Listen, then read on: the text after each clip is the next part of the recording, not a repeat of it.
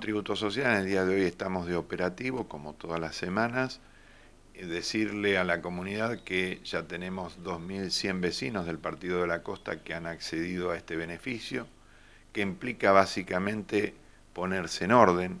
poder facturar los servicios o la actividad que desarrolle, poder contar con una obra social y también poder hacer un aporte jubilatorio.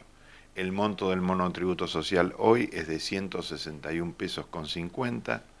y a través del pago de esta cuota mensual, el vecino que se inscribe puede hacer la facturación del servicio o del, del producto que elabore, puede, está haciendo un aporte a su obra social,